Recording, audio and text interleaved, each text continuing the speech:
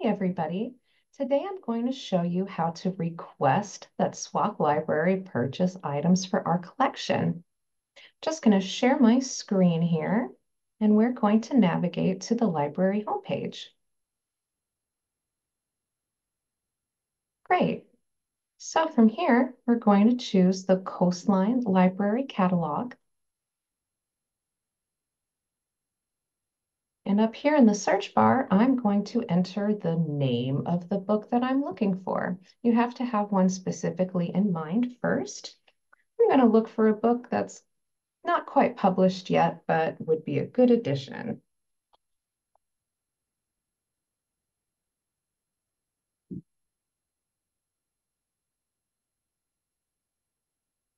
I know the author is Richard Preston, Douglas Preston.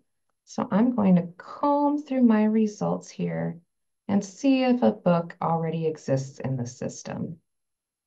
You always have to page through the first set of results just to show that you've done your due diligence to look around. No luck yet. I'm Just gonna go all the way to the end. Down here it says if you didn't find it, you can submit a materials request. So I'm going to click that button and it is going to ask me to log in with my library barcode and password that I have set up. If you have questions about getting that done, you can see my other video on using the Coastline catalog.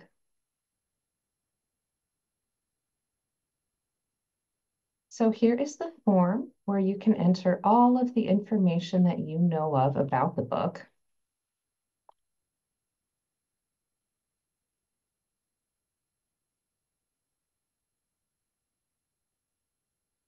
Only the title is required for this form. So I can choose to submit it to SWOCC Library. That is my home library.